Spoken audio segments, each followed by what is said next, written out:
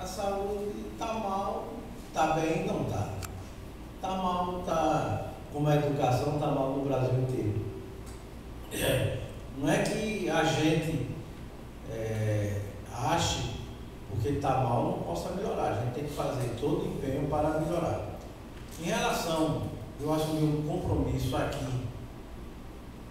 é, diante dos colegas vereadores que enquanto não tivesse um médico atendendo no conjunto Lavoisier Maia, que geralmente o médico que atende no conjunto Lavoisier Maia é, é, o mesmo que atende na comunidade de Coroa Limpa e outras regiões, é, Bom Jesus, etc. e tal, é, eu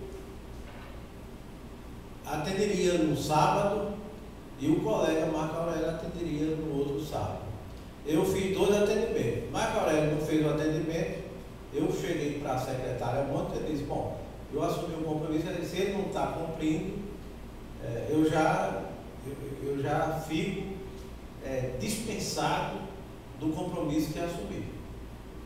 É, e ela me disse que estava é, contratando um médico, que o, é, na realidade, a área de saúde, médico é difícil querer assumir o, é, o PSF, o interior, né, porque aqui todos os colegas sabem que existem é, vagas, ou melhor, a Serra está sem cobertura, Santa Teresa está sem cobertura de atendimento do PSF na parte do médico, né?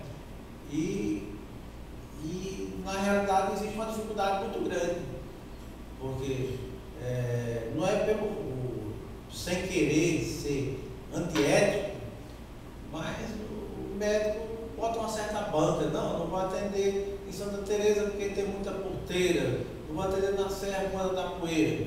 E na realidade fica difícil é, sanar uma situação dessa.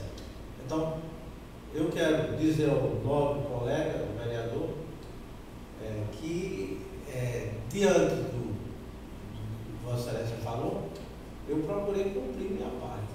Macoré disse que não ia ter condições de cumprir a, o que tinha falado aqui, que o Washington, né, o colega Washington é testemunha disso, que na hora que eu me prontifiquei, que um sábado eu atenderia, no outro seria ele, ele disse que não tinha porque ele ficava de plantão, aí eu é, é, disse, disse para a secretária que procurar sanar a situação.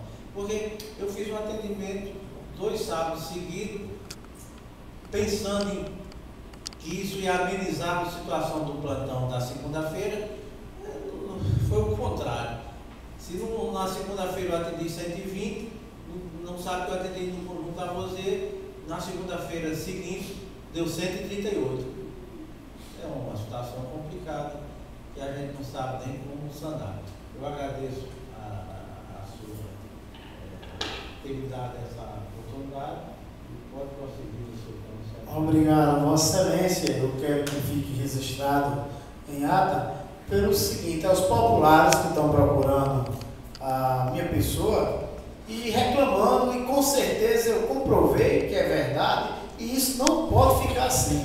Eu, como vereador, como o vereador Washington Luiz, o vereador Ayrton, Salles Araújo, Pial, doutor Assis, João Maria Cadó, nós vereadores não podemos deixar o que está acontecendo. O que é que está acontecendo? A área de Santa Teresa está descoberta faz não sei quantos meses. Certo? Então a área da vazinha continua também descoberta do médico. Então o que acontece é que o pessoal está sem médico, procura outros médicos particulares cidades vizinhas como Angicos, como Açu, os médicos passam é, exames, os pacientes procuram aqui os vereadores e a gente contribui com alguma forma, com alguma passagem, o que a gente pode fazer traz outro. E o que acontece? Quando chega com o resultado, não tem a quem mostrar. Por que não tem a quem mostrar? Porque não tem o médico na área. Aquele paciente tem o direito de ir ao hospital e mostrar seis anos. Mas lá no hospital só é urgência, concordo Mas a partir que tem a médica na sua área, quer dizer que a pessoa vai morrer porque lá em Santa Teresa não tem médico? Só vai vir para o hospital quando tiver para morrer? Quando tiver uma urgência, se pode ser uma tem que ser um, uma, fatura exposta, tem que ser o quê? Tem que estar tá com infarto? Não. Eu acho que está errado é não colocar o médico na região, porque as equipes já vêm baleadas, vêm de muitos anos. Não tem sete equipes funcionando. Nunca passou de quatro. Eu acho que só tem aquele remanejamento, tiro de uma área e boto noutra para não perder a vaga. E o dinheiro das sete equipes é distribuído em quatro. Os médicos não têm aumento, não. Eu acredito que seja os mesmos 7 mil reais. Que há sei quantos anos atrás era 7 mil reais, 6, 7 mil reais. Pague bem. São sete equipes. Se o governo bota 95 mil, vamos fazer um esforço e pagar. Pague 15 mil ao médico, para ver se falta médico. Chega e tem a carga horária do médico, porque o médico, além de fazer o PSF, é feito um acordo para cobrir o hospital e o médico tira um dia de plantão de graça lá no hospital. Que doutor assim não é funcionário mais da prefeitura. Ele é só funcionário do Estado. Mas tem que tirar um dia de plantão no hospital porque cobra o PSF. Posso acrescentar? Pois não, meu vereador. Não sou funcionário do Estado, sou aposentado. Aposentado.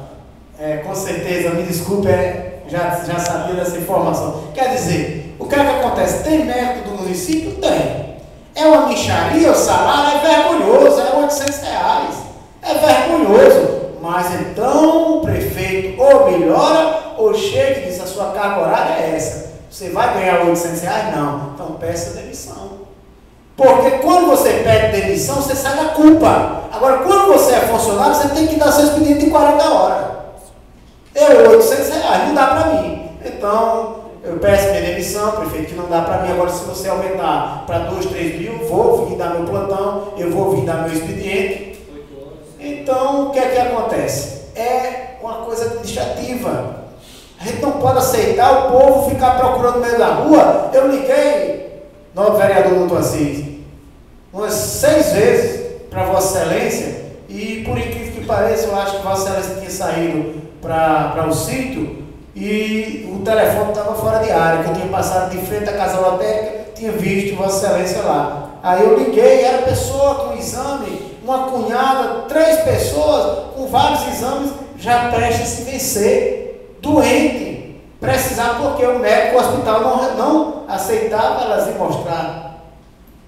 Não aceita? Como é que não aceita? Se a pessoa vai morrer, vão descobrir por 30 dias se você está com uma doença. Eu vejo as propagandas, olha, faça exame para vocês não deixar para última hora. Tem que ser diária, é, é, em três em três meses. Para mostrar quem?